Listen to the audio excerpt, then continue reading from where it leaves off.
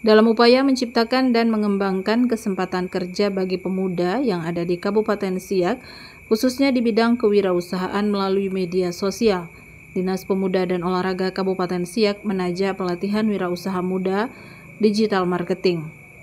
Pelatihan diikuti oleh 56 wirausahawan muda dari seluruh kecamatan di Kabupaten Siak. Kegiatan berlangsung selama lima hari mulai tanggal 13 hingga 18 Mei 2024 di Hotel Grand Royal. Wakil Bupati Siak yang hadir secara langsung pada kegiatan ini menyampaikan apresiasi kepada Dinas Pemuda dan Olahraga Kabupaten Siak yang telah menyelenggarakan pelatihan.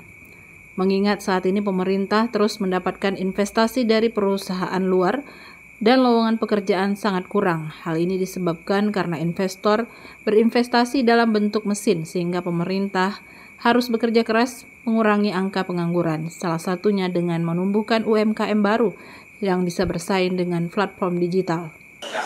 Jadi itu peluang. Nah di tahun 2024 ini diprediksikan oleh Bank Indonesia itu ada 689 triliun uang yang akan beredar dan itu beredar di transaksi e-commerce.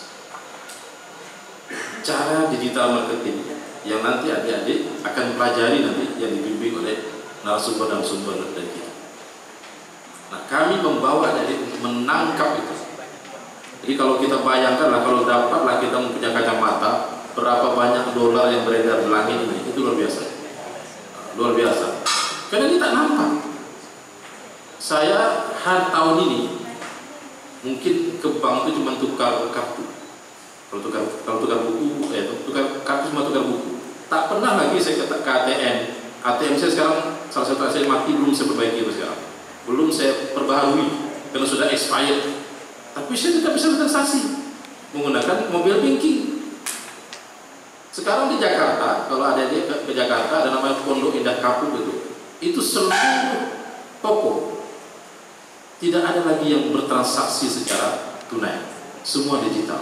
Kegiatan positif ini sangat mendorong motivasi kemandirian pemuda dalam bidang ekonomi dan UMKM, serta kegiatan ini diharapkan dapat mengurangi angka pengangguran di Kabupaten Siak.